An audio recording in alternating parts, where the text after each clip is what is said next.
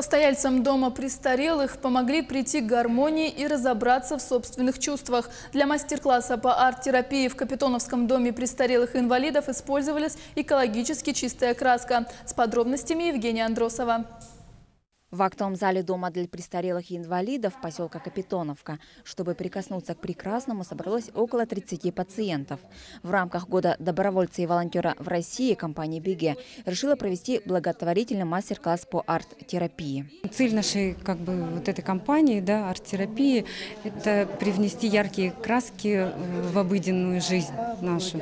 И чтобы наше незащищенное население да, чувствовало себя как-то лучше, лучше, радостнее, чтобы каждый день у них был наполнен новыми яркими красками. Профессиональный художник-дизайнер Евгений Кононов сам лично подготовил фигурки в виде лошадки, оленя, лося и быка.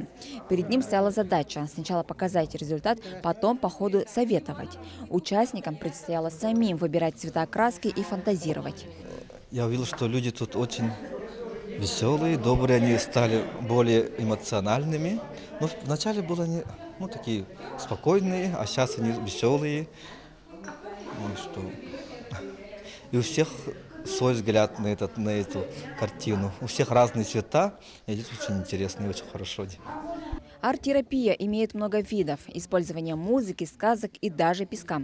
А жители дома для престарелых и инвалидов прошли мастер-класс по изотерапии. Она дает возможность выхода внутренним конфликтам вовне, помогает понять собственные чувства. Они очень помогают поддерживать мышечный тонус и, конечно, э, ну и в целом такие занятия повышают настроение, тягу к жизни.